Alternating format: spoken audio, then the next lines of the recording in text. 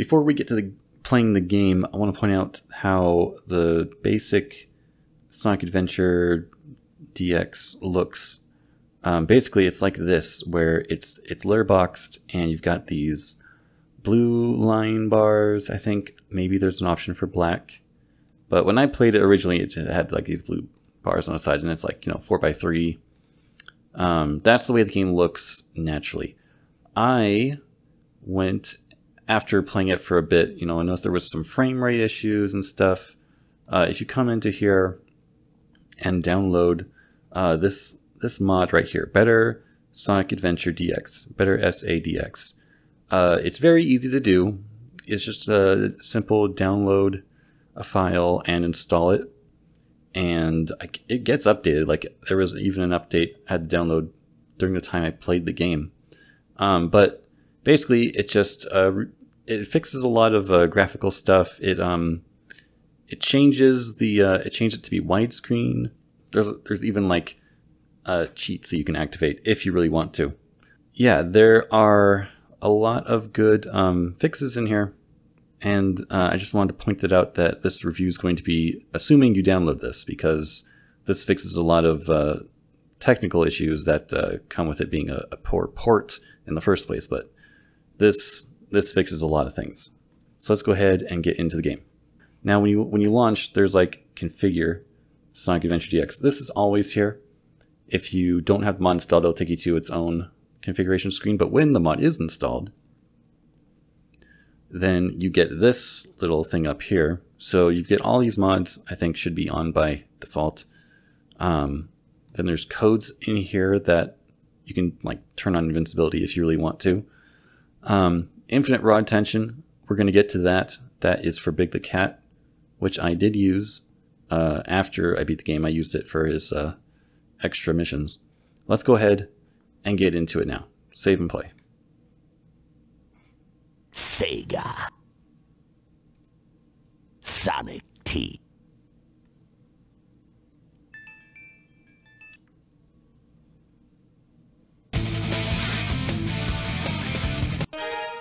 So this is Sonic Adventure DX. You can have multiple save files, although, you know, I don't know necessarily. I mean, if, I guess if you if you want, you can have multiple save files, and you can delete it right there if you want let's go ahead and get into here. So there are these three main ones right here is what we're going to talk about. First is adventure. This is the story mode. Let's go ahead and get into here. Just go into Sonic. So the way this game is structured is that you have multiple characters to choose from, and when you pick a character, you play through their story. And so, as Sonic, uh, he has the most levels in the game. His controls are simply that, you know, you can move around, you walk around at first, if you keep holding the stick, you go faster eventually, you know, you come to a, a stop, you eventually just keep holding the stick in a direction and you'll go faster. Sonic can also do a spin dash. If you hold the uh, attack button there, you can go very fast. In fact, that's key for some speedrunning stuff. You can also do like a, a spin dash jump, if you want to clear a, a, pit. That's kind of an advanced tech. You don't necessarily have to do that anywhere, but it is helpful for doing um, uh, time trial challenges. But this is the hub world, so to speak, or the overworld. You've got this town here. You can go up and go to um, the Mystic Ruins. And then there's also, eventually, later in the game, you can go to Eggman's ship those are the three main places to look at. But we're going to go ahead, we're going to go over here to play through a level. This is going to be my example level. This is stage 2, Windy Valley. So the basic goal here is to simply just get to the end. Now you collect rings, of course, and um, if you get hit when you have rings, these enemies here will hit me, then you lose your rings. You can pick them back up, but if you get hit with you don't have rings, you die. You lose a life. So that's that's the basic of any Sonic game. But let's go ahead and look at one of uh, Sonic's main abilities in his 3D games, or at least in this game, um, is that his homing attack. If you press the jump button again when you're in the air, you'll home in on a target, If it's an enemy, that's great. If it's an object like these, you know, you'll just automatically go towards them. I don't even have to press the control stick here, although press the control stick can be a good thing if you have multiple targets you're looking at. Now what I just picked up here is an electric shield. It'll allow me to take one more hit before I lose any rings. It also doubles as a ring magnet. This is a checkpoint, so if I die, I will restart here. But yeah, as you can see, uh, the ring magnet effect of this shield draws the rings into me. This is like an automated section. Oh wait, I shouldn't have stopped holding forward. There are a lot of sections where if you just hold forward, the game kind of just plays, like right here. Like I'm not changing direction or anything, I'm just holding forward. But this is um, what most of the platforming looks like. There's kind of big jumps, but you have a very floaty jump, so you can stay in the air for quite a long time. I missed that little heart thing there. This is also kind of on mid right here. But eventually you do get to like a different part of the stage. And what I'm doing here is I'm just gonna get out of platform here. There's these orb things, these light balls. If you hit them, they'll kind of give you tutorials on what to do next if you don't know. This is obviously just a, like a trampoline thing. So Sonic is, of course, uh, the main character in this game, and he has the most levels. He's got 10 different levels. They're all kind of about, uh, I guess the later levels are a bit longer. I was going to say that they're all about the same length, but uh, not necessarily true. And you can see Tails is following me around. He's just there, just because classic Sonic games had Tails following you around, so they just kept it. Whoa, whoa, whoa. Okay, so not at the beginning of the game, but later, um, Sonic gets the ability to hold his charge and like get that. And what this does is that if there's a line of rings and you let go, Sonic will just fly through all those rings to the end. And so that is good for getting to like places like this where there's like an extra life, you know, little bonuses, just to keep your eyes out for things like that. As you can see, I'm kind of bouncing around. The controls and physics of this game can be a little wonky at times, but nothing seriously game-breaking.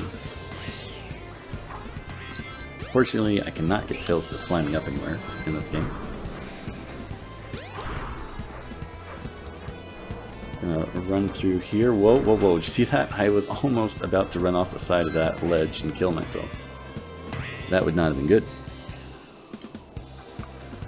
We're gonna land down here and almost at the end of the level.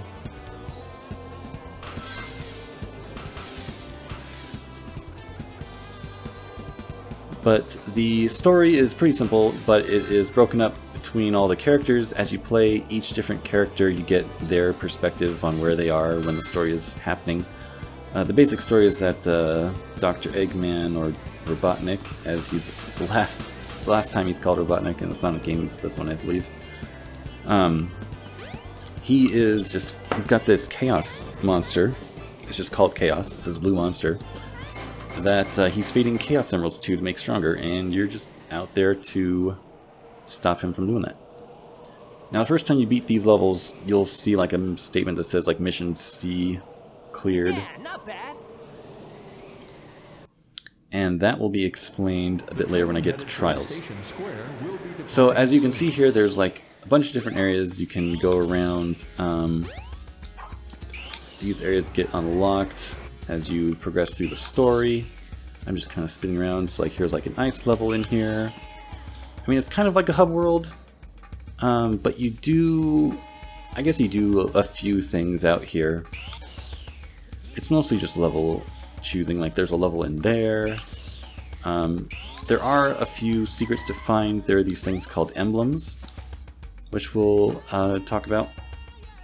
And then um, you've got a map you can look at to see where I am. There is a camera function, so the camera will be on auto, and I think it's best to have it on auto, but you can switch to free cam. If you do that, you know, the camera won't uh, automatically shift around for you, but it'll stay right behind you for the most part, and then if you use the right stick, you can rotate around you. If you have the camera on auto um, auto cam, which is what I leave it on most of the time, uh, as you can see, it will it will zoom out for cinematic stuff. But if you use the right stick now, it actually goes to like almost like a first person view. You can get like a closer look at some things.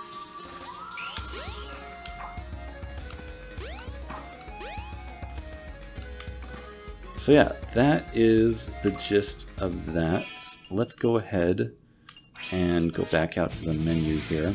Trial mode here, if you take a look, got three different things. The emblem results, uh, there's all these emblems you can, they're like extra goals you can take on. There's also some hidden out in the in that open world field. Not open world, but you know, the adventure field they, that they call it. There's a few just sitting out to be found in hidden areas. There's some minigame related, Chao racing, and uh, final level stuff. But they are done through these action stages, so if I go back into Sonic again, you can see there's these emblems here to the side. And in fact, they all have different goals. The first one is just complete the level. Um, unfortunately, I don't think I can actually read what they were here. So every character has like their own set of levels to do. And they all go through that world select, that adventure field to find things. Um, but if we go into Tails, as you can see here, he has only five levels in total. In fact, his first level is Windy Valley, that one that we just played as Sonic.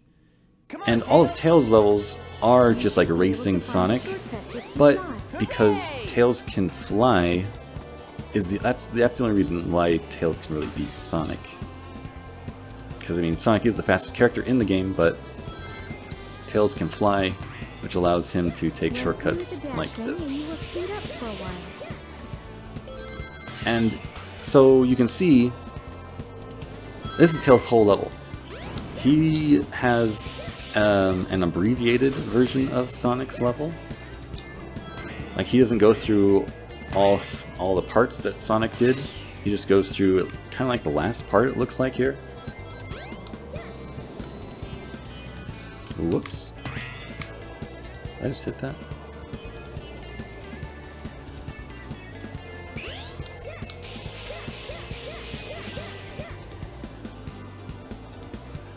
Come on, here we go.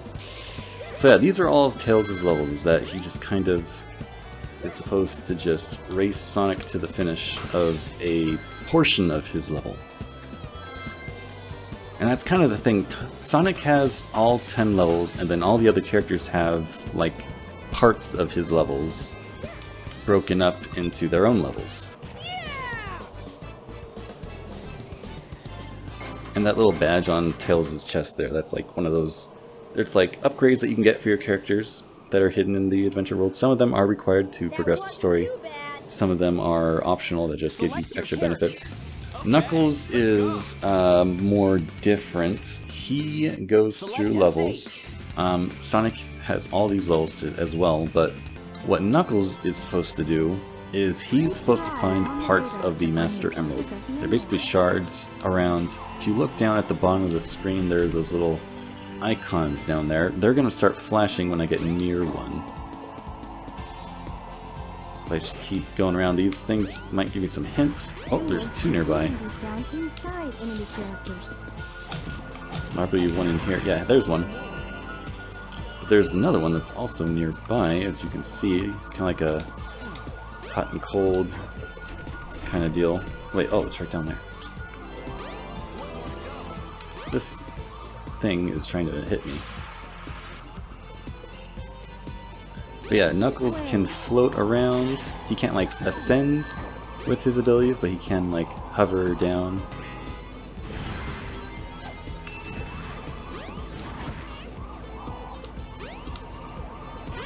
Got like police cars coming after. Oh, there's a spring there. There we go. So yeah, we just keep going around, kind of waiting for that uh, radar to start going off.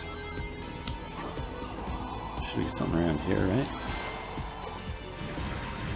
Oh, in circles. Oh, there it is.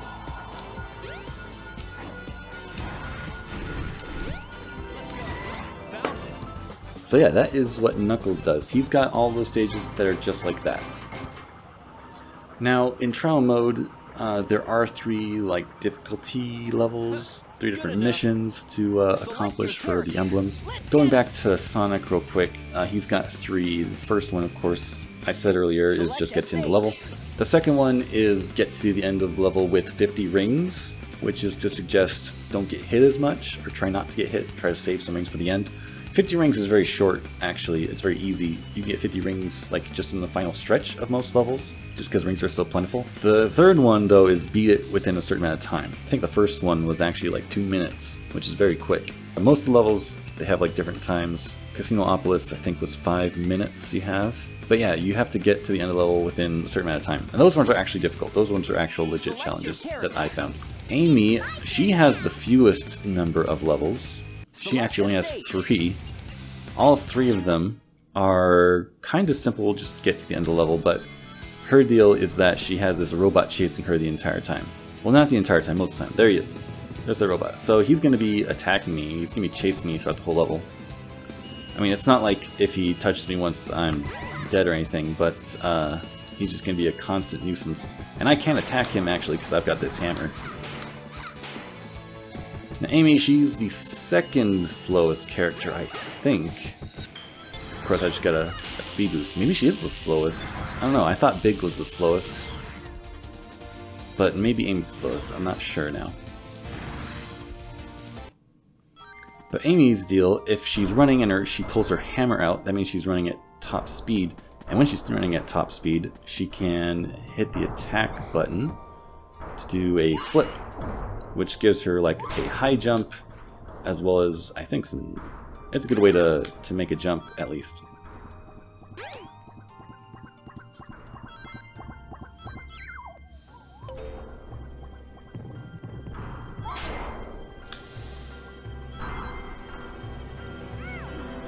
Oh, right.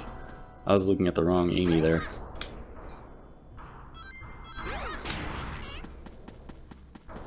There are some trick floors in here, like this one's gonna fall if I uh, step on top of it.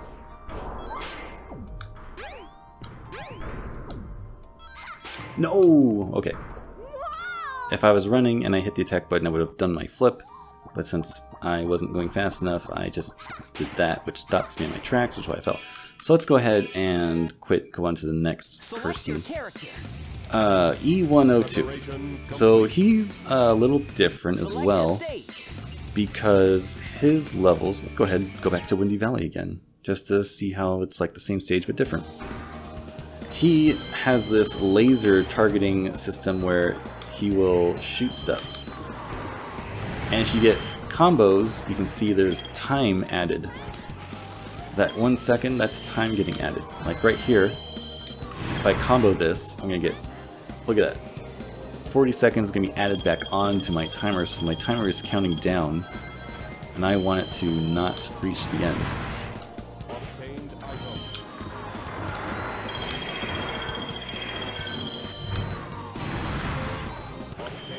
Oh, I just got invincibility. Not that I need it.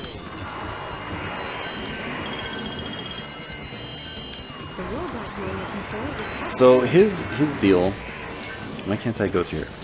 His deal is that he's going, he's kind of turned against uh, Dr. Eggman since, uh, oh dang, since, um, I don't know, he met Amy and she kind of convinced him to be good, which is why he's turned against Dr. Eggman. He's going out after the other robots and he's freeing them from him in a way that uh, it makes sense in Sonic lore because Dr. Eggman he turns animals into his robots, and so by destroying the robot, he frees the animal inside. Uh, all the bosses in Sonic in this game are pretty easy. This one is laughably easy because I'm just gonna sit here and shoot him. That's it. But I think all the bosses in this game are pretty easy even the main, even the ones against the main uh, enemy Chaos, uh, they require you to wait around, you know, wait for him to reveal his weak point and all that, but most of the other bosses are pretty easy.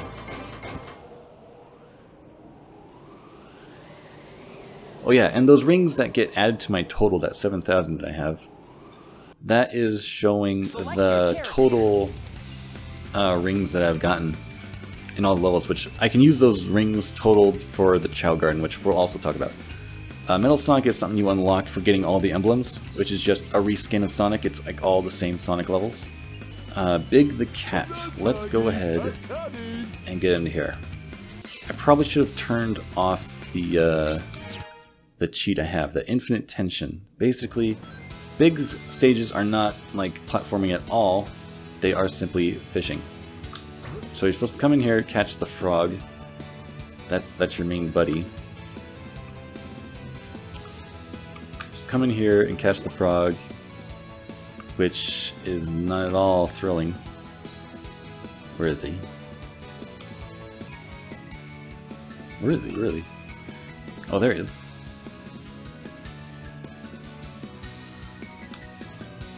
You gonna pay attention to this at all? There we go, he's turning around. So, if I didn't have this cheat on, on the right side there, there would be a meter that goes up and down based on the pull that the uh, fish or frog is pulling. And basically, if it gets too high, you lose them and you die for some reason. But uh, because I have infinite tension on, the meat bar never goes up, which means I can just fish it in because I don't want to do this fishing, basically. And some of the harder missions, when he does his uh, trials, his different levels of fishing trials are just catching a single bigger fish every time. And the highest fish, the heaviest fish to catch, they are a, an annoyance to try to go through. Um, but yeah, there's like some mini games which are just there are these extra little missions. These oh, I guess there's like a boss thing. This is the racing thing. These are some like snowboarding and sandboarding areas, and then there's like a Sky Chase Act, which is kind of like a Star Fox level, but very uh, short and cheap.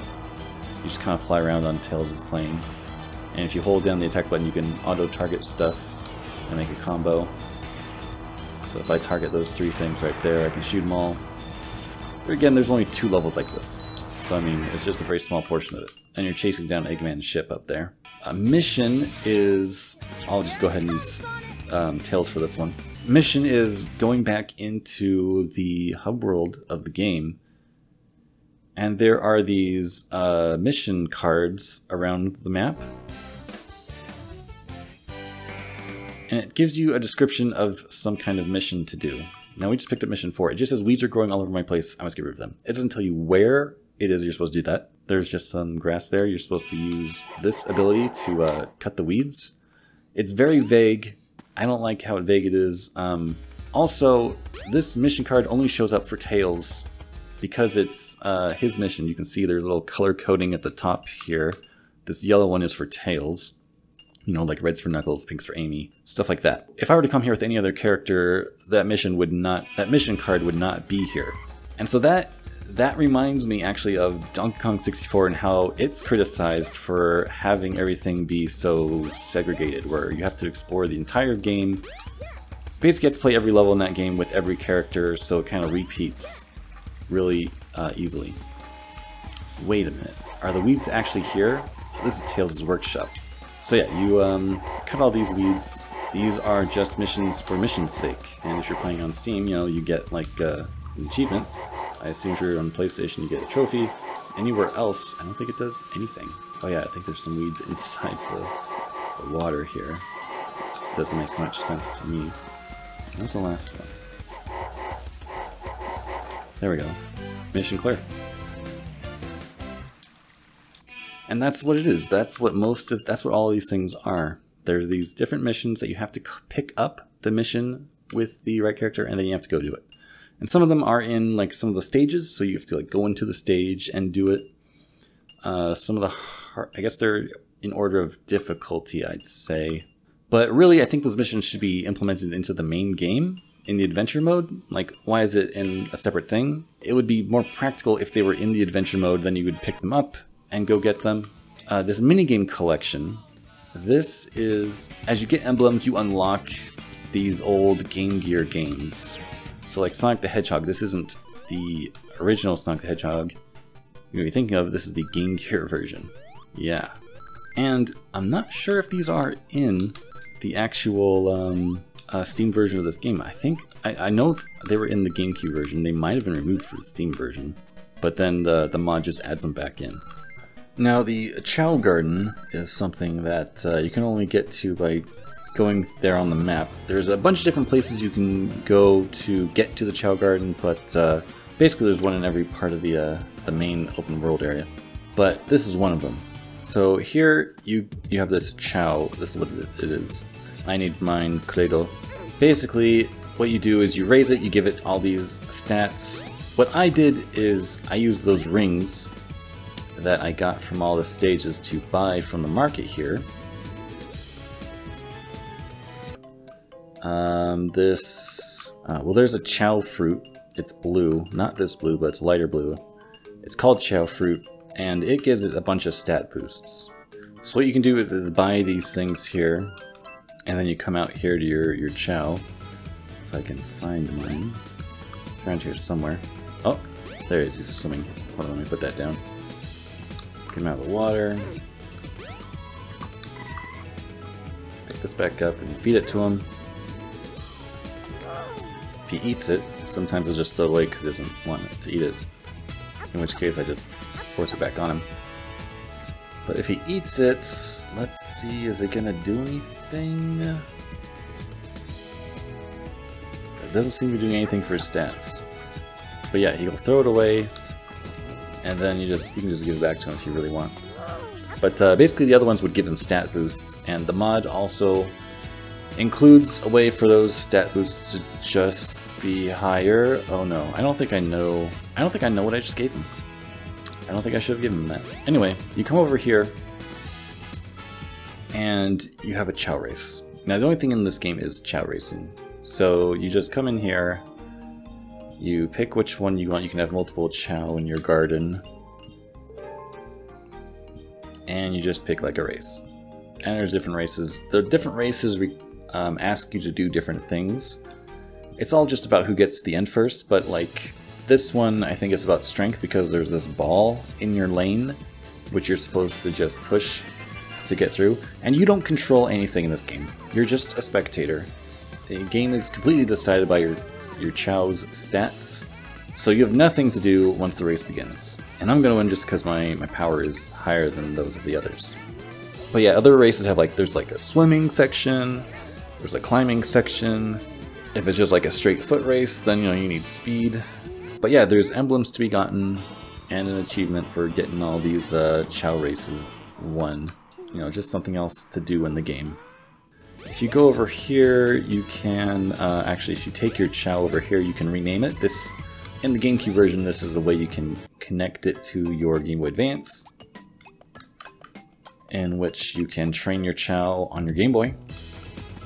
These are other parts. Um, these will take you to the other Chao Gardens. It's like this is the one in the Mystic Ruins, obviously, because it looks like it's it's got Mystic Ruins. I think the gardens all come with these eggs, and you just kind of, uh, you can shake them. I'm holding the action button and, and pressing just in any direction to uh, shake it. I wonder if I can force it open.